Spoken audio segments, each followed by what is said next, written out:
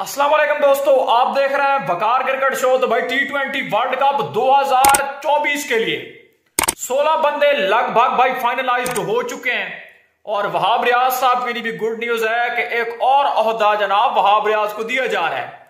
लेकिन शुएब मलिक का T twenty world cup 2024 का सफ़र भी खत्म हो चुका है।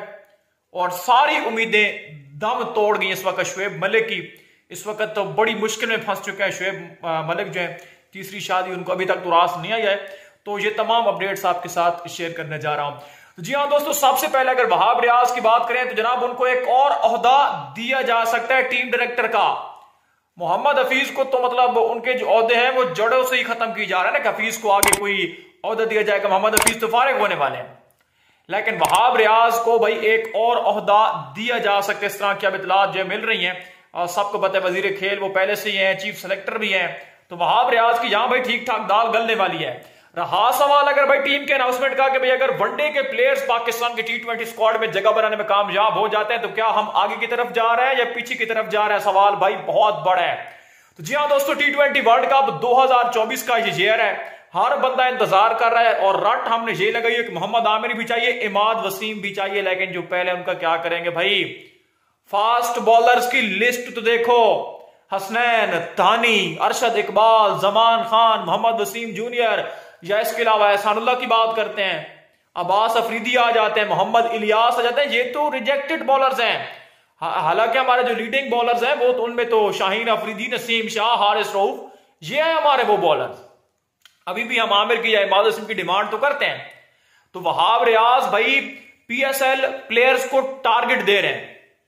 कि पीएसएल के फ़ौरन बाद जो हमारी न्यूजीलैंड के खिलाफ टी ट्वेंटी सीरीज़ होनी, उसमें हम क्या अपने आप को टेस्ट करेंगे? न्यूजीलैंड की तो बीस टीम आएगी। क्योंकि न्यूजीलैंड के जो टॉप प्लेयर्स हैं, वो तो खेलेंगे आईपीएल तो हमारी क्या प्रिपरेशन होगी? तो हमारी जो रियल प्रिपरेशन होनी है, वो भाई पीएसएल में ही होनी है। साइम मजूब शाहीन अफरीदी को फेस करेगा रोफ को फेस करेगा। या और जो प्लेयर्स हैं भाई सलमान अली आगा भी पाकिस्तान के टी ट्वेंटी स्क्वाड का हिस्सा बन सकते हैं और उसके पीछे वजह यह है कि वो अच्छी बॉलिंग करता है। कंपेयर टू इफ्तिखार, अगर आप इफ्तिखार के साथ कंपेयर करेंगे तो। अगर पावर रेटिंग और थोड़ी सी इंप्रूव कर गया सलमान अली आगा तो इन सब के ऊपर भारी पड़ जाएगा। ये मैं आपको लिख कर दे सकता हूँ इस वक्त। जी हाँ उसको बड़ा हाईली रेट किया जा रहा है सलमान अली आगा को पाकिस्तान के टी ट्वेंटी स्क्वाड के अंदर। इसके अलावा और भी प्लेयर्स हैं। और कई यंगस्टर स्पेशली जो ऑलराउंडर है पाकिस्तान के, बहुत तवज्जो का मरकज बनेंगे पीएसएल की परफॉर्मेंस की बेस के ऊपर। और इस बात में कोई दो राय नहीं है। अब जहाँ पर बात करें शुएब मलिक की तो बांग्लादेश प्रीमियर लीग से शुएब मलिक निजी मसाइल की वजह से जनाब वतन वापस आ रहे हैं।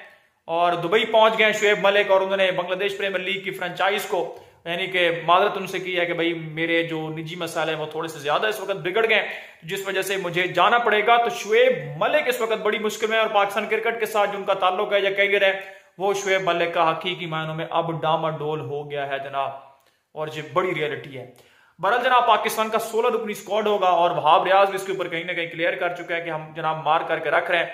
यानी कि पाकिस्तान के इस वक्त जो रेगुलर प्लेयर्स खेल रहे हैं वनडे और टी ट्वेंटी के अंदर इन्हीं को फाइनल करके टी ट्वेंटी वर्ल्ड कप दो हज़ार चौबीस का स्क्वाड जो है वो फाइनल किया जाएगा।